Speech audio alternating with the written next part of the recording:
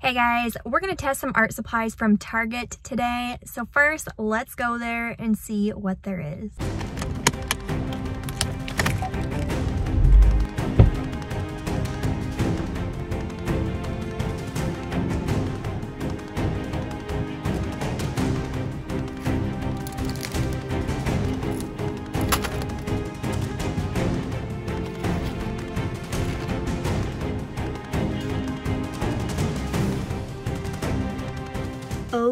I got coffee. I was really tired. I caved. Temptation got the best of me. I also have a small batch of orders that we need to drop off at the post office. This is just what came in on Sunday. So yeah, thank you guys for supporting my art. All right, guys, we are back from Target and I have two things to tell you. Yeah, that coffee was good. It's, it's gone already. And second of all, we are about to try one of the weirdest, probably most exotic art supplies I have seen in a really long time. As you can see here, these are watercolor creams. So I'm imagining this like painting with lotion, but who knows? Maybe you guys have tried this. If you have, tell me your thoughts. Now this thing here, I have seen this be used in lots of places in life, but for some reason I have just been missing out and I want to give it a try. I know this is like childhood satisfaction for lots of people, so um, I want to know what it's about, that's all. It's, it's called a spiral stencil set. I think some people call it like a spirograph or something. I don't know. What do you call it? Let me know. We're gonna try it. I'm really curious. So yeah. And then there was this brand of colored pencils called Art 101. I grabbed these because I've never heard of this brand before, so I thought I would test it to let you guys know my thoughts. You know, I've actually never tried most of these brands before. I did pick up some Strathmore mixed media paper and I can't remember if I've tried this or not, but I thought it would be really fitting for all the different things we have here and I didn't want to buy more than one type of paper. also, can I just say I'm super excited for these. They seem awesome. And this is by Handmade Modern. I've never heard of this brand either, so that's exciting. This brand actually promotes environmentally, socially, and economically responsible management of the world's forests. So that's neat. Oh, and I forgot to mention these watercolor creams are by the brand Brea Reese. So if you're curious about brands, there you go. Anyway, I'm trying all this stuff so you guys don't have to, or maybe if you guys were curious about it, we can experiment together. Okay, let's get started, make some art, and have a fun time.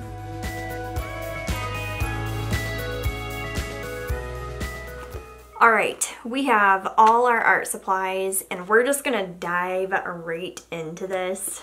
As I said, I've never tried one of these before, so I'm just kind of giddy to do it and this will probably be anticlimactic for some people, but not for me. Let's open up to our lovely first sketchbook page. Okay, so I think I'll just start with one of these. And there's all these fun pieces. Wow, okay, my first impression is these pens feel really cheap, so I hope they work. Ready for this? I'm gonna start in the center. Wow, they're like falling apart. I haven't even used them.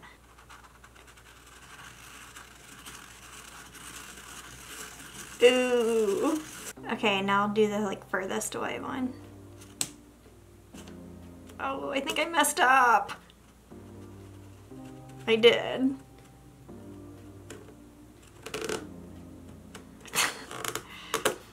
Fail. okay, don't do the most outer dot. We're trying again. We cannot have this be my first page. Okay, I'm using a smaller one because bad first impression. I'll do the innermost one again. Ooh, this is ovally. Ooh, this is cool. Okay. What in the world? This is so cool. I have admittedly messed up a couple times. uh, like that. You kind of have to like press really hard against the edges if you don't want it to slide. Well, that was a, like a kind of cool first one, but like also kind of failed. this one is much better, guys. Let's do orange. I'm doing that outermost one again. Wish me luck. This is hard. Oh my goodness. This is probably so easy for people who like grew up doing this, but like I missed out on that part of childhood. Oh my goodness, I just messed up. I do not like this. I give up. I'm trying again. I'm doing the littlest one. I'm using purple.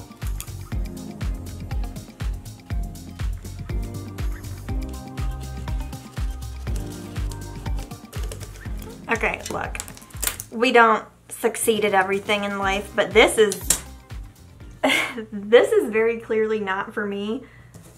I thought this would be easy, but this just tests my patience and I'm not enjoying it. So I'm not gonna continue messing with it. And that says a lot because usually I enjoy most creative things, but this, I detest it. This is not fun to me. This stresses me out. I thought it would be therapeutic. it is the opposite, so I'm done. If you enjoy this, I'm not judging you. I'm actually a little jealous, so don't come for me, okay? Let's do something that I will enjoy now. Let's try that. All right, we have a new page, water, these beautiful watercolor creams. Ew, it smells interesting. All right, so this is what it looks like. Ooh, it kind of reminds me of like oil pastels. Do you kind of get that vibe? Oil pastels? Let's get a feel for how they work. I just wanna Oh my goodness, that is so satisfying. Yeah, I just realized these are metallic. I was wondering, because they have a bit of a shimmer. Okay, let's see how they... Whoa, they completely lift off the paper. That is wild. Are you serious? Wow, these are like the weirdest art supplies I have tried in a long time.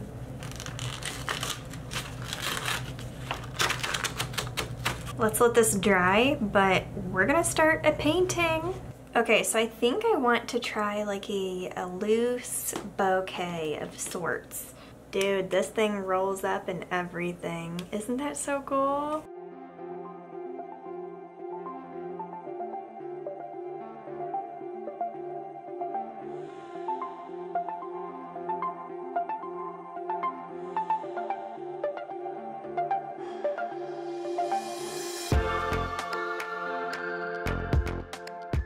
Okay, so my goal here is just to do like some loose watercolor flower bouquet sorts of thing.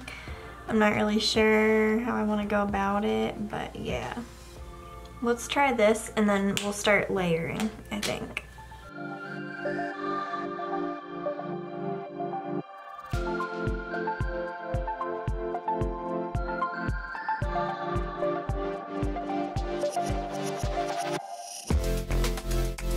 Okay, so my thoughts on this paint.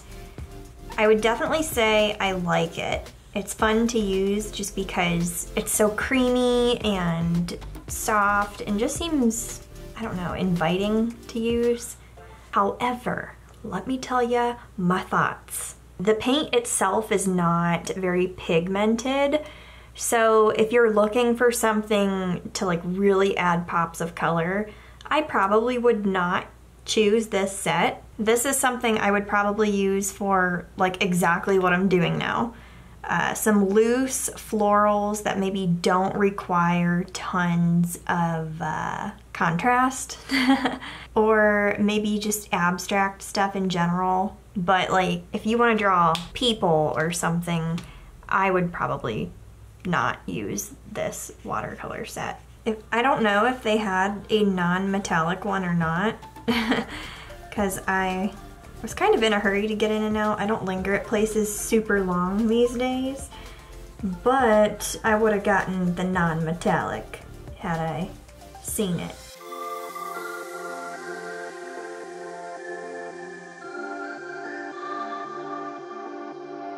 Alright, here's how this piece turned out. Admittedly, I was just testing the supply, so I didn't put like hours and hours of work into this. That's why I consider it a doodle, um, more of an experimentation, so yeah. So for the last project, I decided to take my jolly time because I love colored pencils. This set was really cute because of the pouch. I mean, look at those owls.